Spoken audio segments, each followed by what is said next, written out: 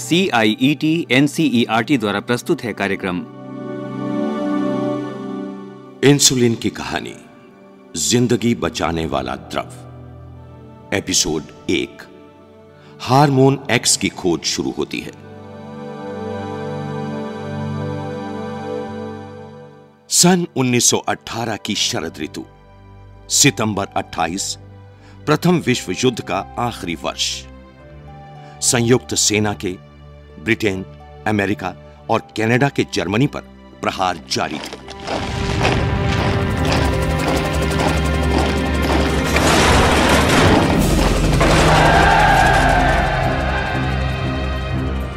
अपनी चिकित्सा स्नातक की डिग्री को हासिल कर एक 25 वर्षीय नौजवान लेफ्टिनेंट कनाडा सेना की मेडिकल कोर में दाखिल हुआ था।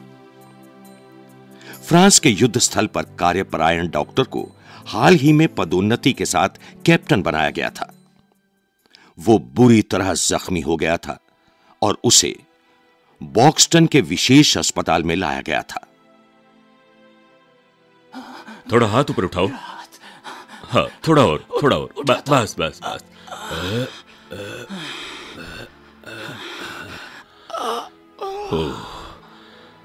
मुझे खेद है, कैप्टन। लगता है कि हाथ काटना पड़ेगा। नहीं डॉक्टर नहीं। कैप्टन? बिल्कुल नहीं। मुझे इस बात का एहसास है कि तुम अभी जवान हो और तुम्हारे आगे सारी ज़िंदगी पड़ी है। लेकिन नहीं नहीं डॉक्टर। ठीक है। हम तुम्हें तुम्हारी इच्छा पर छोड़ देते हैं। शुक्रिया। मैं दुआ करूँगा कि ईश्वर तुम्हें शक्ति प्रदान करे। शुक्रिया, डॉक्टर। शुक्रिया।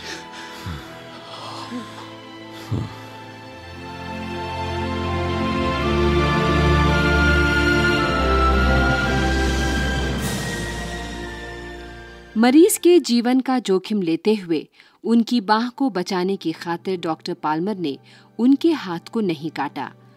वो बहादुर जख्मी थे, डॉक्टर फ्रेडरिक ग्रांट बेंटिंग। एक साल बाद उन्हें वीरता के लिए मिलिट्री क्रॉस के पदक से सम्मानित किया गया।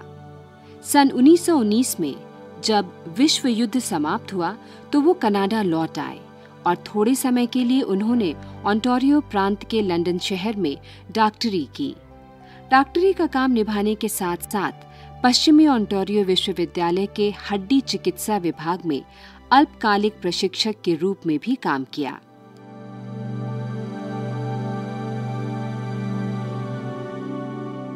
एक दोपहर डॉक्टर फ्रेडरिक बेंटिंग विश्वविद्यालय के चिकित्सा विज्ञान के पुस्तकालय में सर्जरी, गायनोकोलॉजी और ऑब्स्टेट्रिक्स नामक पत्रिका पढ़ रहे थे। इस नवंबर अंक के पहले लेख का लंबा शीर्षक था। The relation of the islets of Langerhans to diabetes with special reference to causes of pancreatic lithiasis बारह पन्नों की इस रिपोर्ट को डॉक्टर मोजेस बैरन ने लिखा था। इस लेख के सार की तीन मुख्य पंक्तियों को बेंटिंग ने अपनी पॉकेट नोटबुक में लिख कर रख लिया। Ligate the pancreatic ducts of dogs keep dogs alive till acini degenerate remove the residue and then isolate internal secretion ये साधारण सी पंक्तियाँ थीं, पर इनमें चिकित्सा विज्ञान के इतिहास को रचने के बीज थे। Doctor Banting professor F R Miller के दफ्तर गए। प्रोफेसर मिलर स्नायु क्रिया तंत्र के विशेषज्ञ और शरीर क्रिया शास्त्र विभाग के प्रमुख थे। डॉक्टर बेंटिंग ने उन्हें बताया।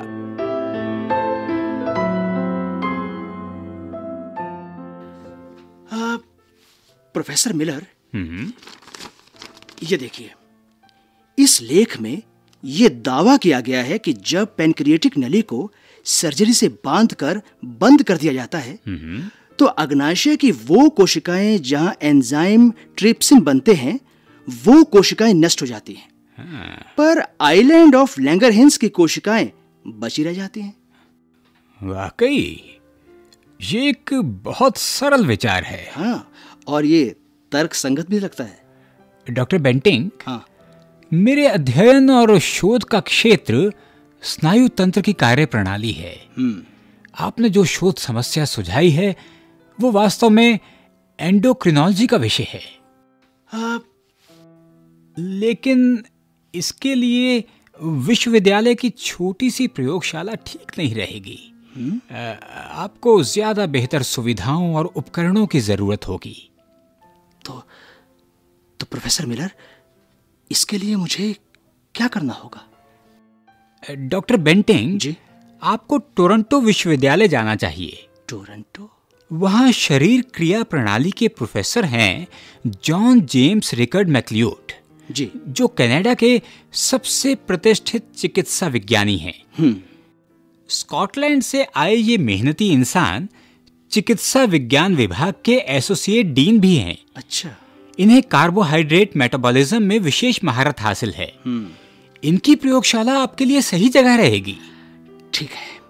ठीक है प्रोफेसर मिलर। मैं मैं वहीं जाऊँगा उनके पास। बहुत बहुत शुक्रिया आपका। वेलकम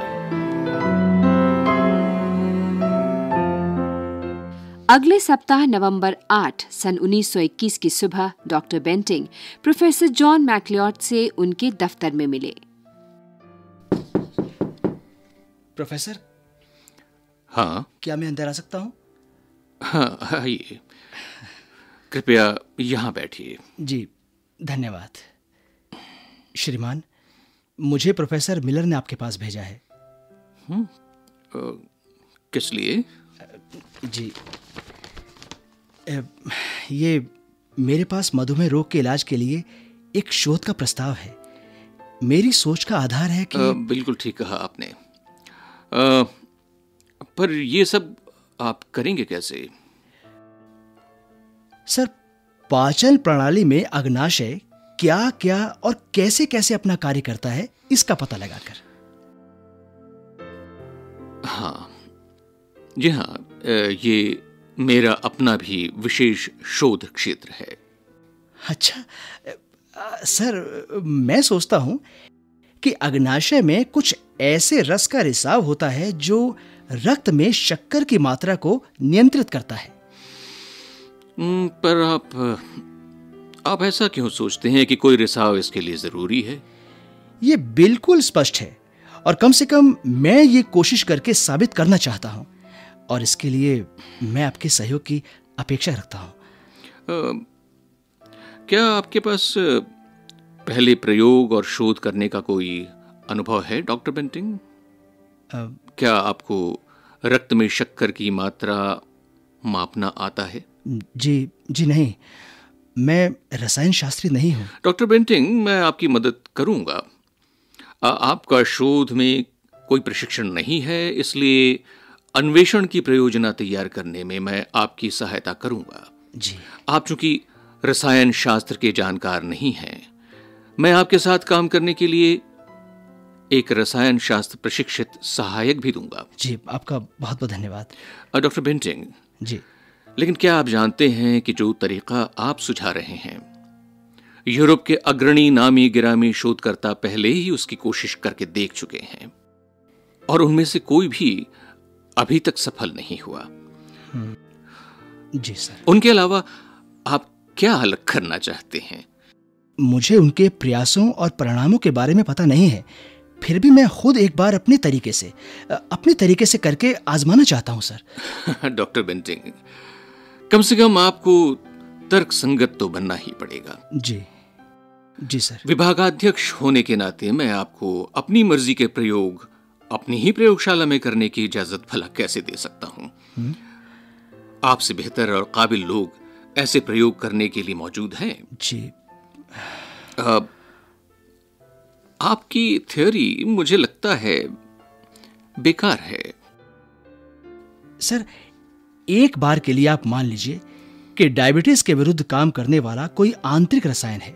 ओके कोई अनजाना एक्स हार्मोन है।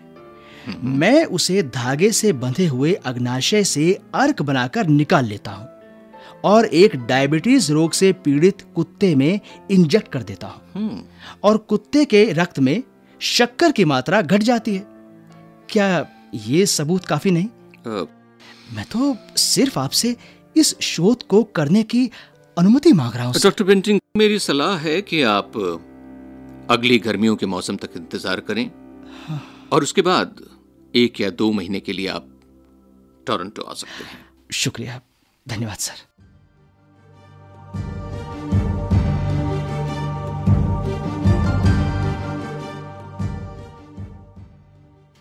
जैसा कि डॉक्टर बेंटिंग ने सोचा था, पहली मुलाकात अच्छी नहीं रही। ऐसा अक्सर होता ही है। डॉक्टर बेंटिंग सहज नहीं थे क्योंकि प्रोफेसर मैक्लियॉट की बुद्धि और तेज तर्रार स्वभाव का प्रभाव ही कुछ ऐसा था। परंतु जीवन डॉक्टरी पेशे के नज़रिए से आगे बढ़ता नज़र आ रहा था। उनकी चिकित्सा का काम धीरे धीरे तरक्की कर रहा था। वो जिद्दी और सपने देखने वाले इंसान थे। वो एक शोध प्रयोग पर सब कुछ दांव पर लगाने को तैयार थे। बसंत ऋतु तक वो कुछ महीनों के लिए डॉक्टरी छोड़कर लंदन से बाहर निकलने का मन बना चुके थे। इसलिए सन 1921 के मार्च महीने में डॉक्टर बेंटिंग ने टोरंटो में प्रोफेसर मैक्लियॉट से पुनः संपर्क स्थापित किया। इस बीच विश्वविद्यालय के कुछ प्रभावी और नामी गिरामी लोगों ने शर्मीले पर इरादों के पक्के शोधकर्ता के बारे में प्रोफेसर मैक्लियॉट से उनके हक में सिफारिशें की थीं, जिससे प्रोफेसर मैक्लियॉट के विचार डॉक्टर बेंटिंग के बारे में अब बदल चुके थे। उस रात उन्होंने एक लिखित प्रस्ताव तैयार किया। अगली सुबह वो प्रोफेसर मैक्लियॉट से फिर मिले। प्रोफेसर मैक्लियोट, अगर शोध के लिए मुझे सभी सुविधाओं को देने का आपका वादा बरकरार है तो मैं आशा करता हूँ कि अपने शोध प्रोजेक्ट पर गर्मियाँ शुरू होते ही मैं अपना काम शुरू कर दूँगा। अपने शोध को पूरा करने के लिए आप पूरी तरह से समर्पित हैं तो मैं आपके लिए प्रयोग करने की सुविधाएँ और जानवरों का इंतज़ाम करता हूँ। मैं चार्ल्स हर्बर्ट बेस्ट से आपके साथ काम करने का अनुरोध करूँगा। वो शरीर क्रिया विज्ञान में स्नातक हैं। अभी वो किशोर उम्र में ही हैं पर इस काम के लिए वो बेहतरीन हैं। जी। सर आपका यह एहसान मैं कभी नहीं भूलूँगा बेस्ट में रसायन विश्लेषण का जुनून है और आप एक अच्छे सर्जन हैं। आप दोनों मिलकर कुत्तों पर बखूबी प्रयोग कर सकते हैं। और प्रयोगशाला की बाकी सुविधाएँ? अभी के लिए आप एक छोटी प्रयोगशाला से काम चला सकते हैं जहाँ जहाँ ऑपरेशन के बाद जानवरों को पिंजरे में रखने की व्यवस्था हो और उसके साथ ही जुड़ा हुआ ऑपरेशन करने के लिए एक अलग विशेष कमरा भी हो जिसे आप ऑपरेशन थिएटर कह सकते हैं। बहुत बहुत शुक्रिया सर। थैंक यू सर यह साधारण सी घटना बाद में एक महान खोज में तब्दील हुई। 1920 के दशक में डायबिटीज़ यानी मधुमेह एक खतरनाक रोग था, जिसमें मौत शर्तिया ही होती थी। डॉक्टर भी उतना ही इस रोग से डरते थे, जितना कि इस रोग के मरीज़। डॉक्टरों को सिर्फ़ इतना ही पता था कि बचने का एक ही तरीका है, कि मरीज़ को एक साधारण पर संतुलित आहार पर रखा जाए। ऐसे भोजन पर जिसमें शक्कर की मात्रा कम से कम हो। इन सब उपचारों से मरीज़ कुछ ही बरस तक जी तो ज़रूर लेते थे, पर वो बचते नहीं थे। कई बार तो खुराक इतनी घटा दी जाती थी कि मरीज़ भूख से ही मर जाता था।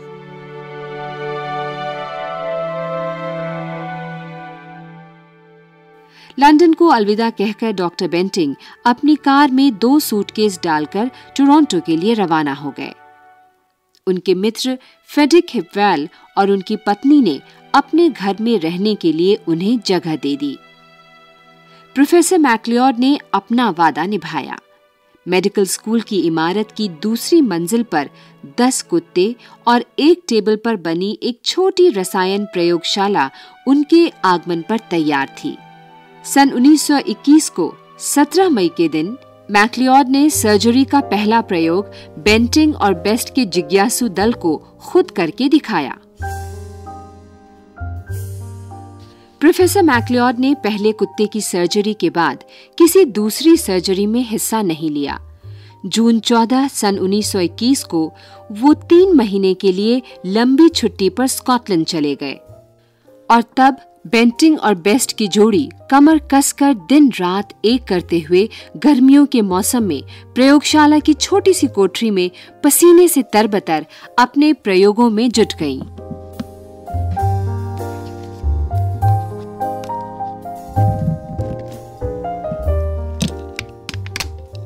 चार्ल्स हमारे पास दस कुत्ते हैं और हमें इनमें से पाँच को डायबिटीज़ से ग्रसित रोगी बनाना है क्या? हाँ। हमें बहुत ही एहतियात बरतनी पड़ेगी। अब डॉक्टर बेंटिंग तुम्हारा मतलब है कि इन पाँच कुत्तों में एंटी डायबिटिक गुण उत्पन्न होंगे?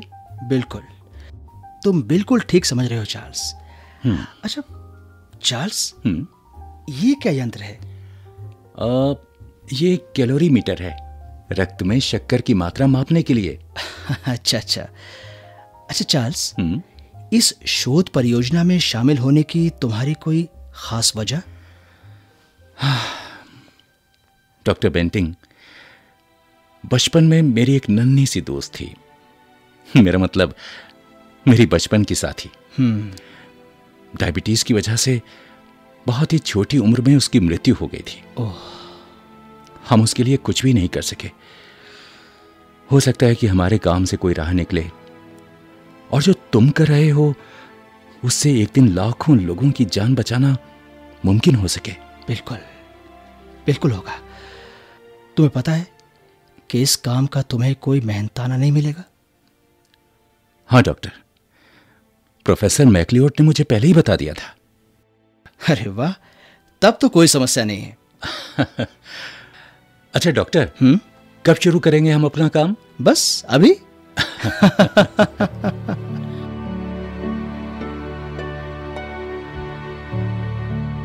मैक्लियोड ने पहले अपनी प्रयोगशाला के लिए आठ सप्ताह का ही वादा किया था और उनका समय समाप्त हो चुका था। दस में से सात कुत्ते वो पहले ही खो चुके थे। वो भी बिल्कुल टूट चुके थे।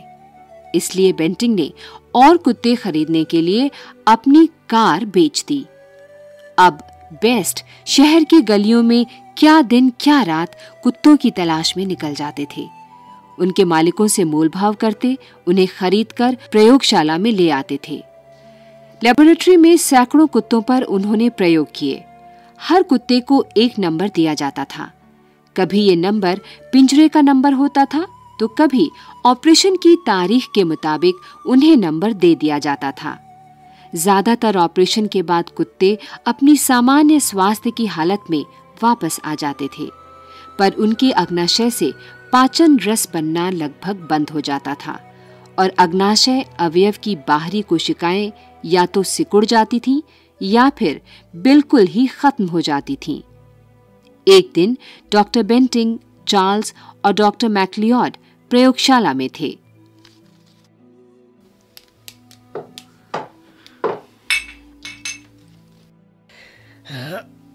ये तो मैंने कर दिया। हाँ। चार्ल्स इस सिकुड़े हुए अग्नाशय को काटकर निकालो और फिर इसके छोटे छोटे टुकड़े कर उनको नमक और पानी के घोल में डाल दो। जी डॉक्टर। और हाँ परख नली के चारों तरफ़ बर्फ़ के टुकड़े रख दो ताकि घोल सुरक्षित रहे। ठीक है डॉक्टर पेंटिंग।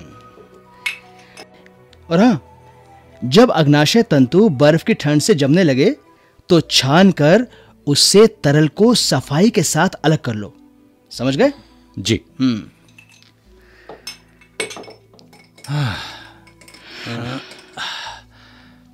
ये ये मैंने छान लिया और इसको अलग कर लिया। वाह। ये रहस्यमयी तरल कई बार निथारने के बाद बना है।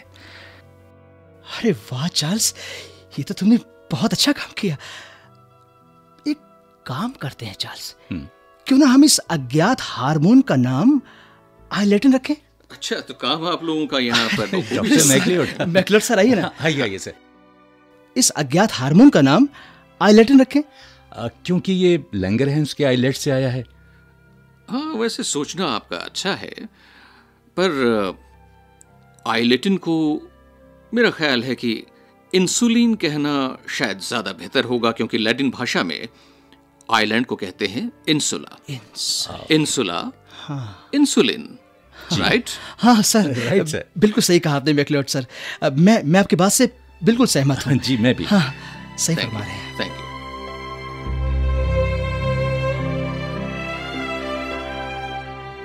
प्रयोग के दूसरे कुत्तों के समूह का सारा का सारा ही अग्नाशय बाहर निकाल दिया गया। बिना अग्नाशय के ये कुत्ते डायबिटीज़ के मरीज़ बन जाते थे और लगभग एक सप्ताह में ही उनकी मृत्यु हो जाती थी। इसके साथ ही उन कुत्तों का, जिनके अग्नाशय की नली को बाँध दिया गया था, दोबारा ऑपरेशन किया जाता था। डायबिटीज़ रोग से ग्रस्त दो कुत्तों में से एक का इलाज अर्क से किया गया और दूसरा कुत्ता बिना इंजेक्शन के रखा गया।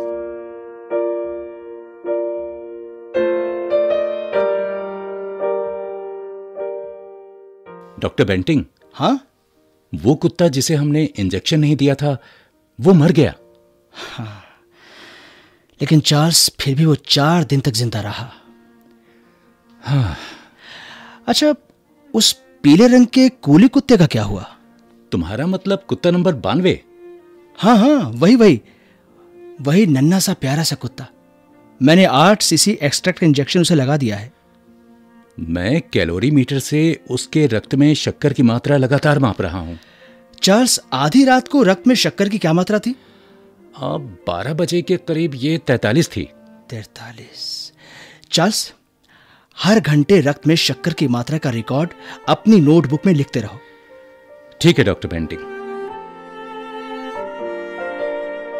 Doctor Banting hmm? इस कुत्ते की हालत में सुधार होता नज़र आ रहा है। ये देखिए रात के दो बजे अब ये तैतीस अंक पर है। हाँ।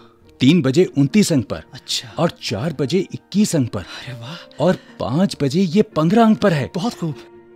यानी यानी छह घंटे में ये तैतालीस अंक से गिरकर मात्र पंद्रह अंक पर आ गया। अरे वाह। इसका मतलब ये हुआ कि उसके रक्त में शक्कर की मात्रा घट गई है।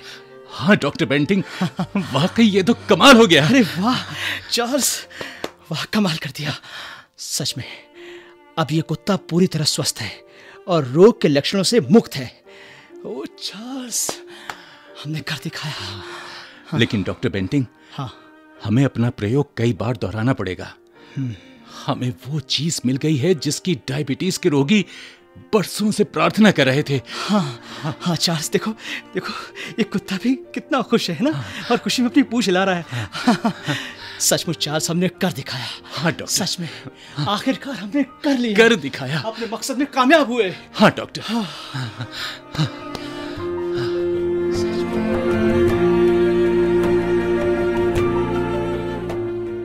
दोनों शोधकर्ताओं को लगा कि वे मधुमेह के इलाज के करीब पहुँच चुके हैं। ये कुत्ता जो उनका दोस्त बन चुका था बानबे इंजेक्शनों की वजह से भला चंगा हो रहा था। पर उनके पास ज़रूरत के मुताबिक अर्क द्रव्य नहीं था। आखिर कुत्ता बीमार पड़ गया। उसके रक्त में शक्कर की मात्रा बढ़ने लगी और वो पेशाब भी बार बार करने लगा और वो कमज़ोर से कमज़ोर होता गया। इसके बावजूद वो रोग के साथ और इंजेक्शनों की मदद से पूरे 20 दिन तक ज़िंदा रहा। डायबिटीज़ से पीड़ित कुत्ते की मौत पर बेंटिंग के आँसू निकल पड़े। पर इस प्रयोग से इन दोनों शोधकर्ताओं को उम्मीद की किरण भी नज़र आई।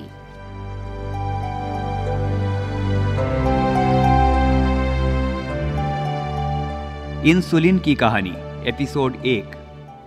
अभी आपने सुना ये कार्यक्रम। विषय संयोजन, शोध एवं आलेख, डॉक्टर जितेंद्र सिंह।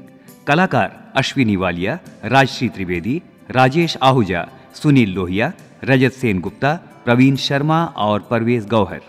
ध्वनियांकन, बटी लैंगलिंगडो और अमिता भट्टी। निर्माण सहयोग, विमलेश चौधरी।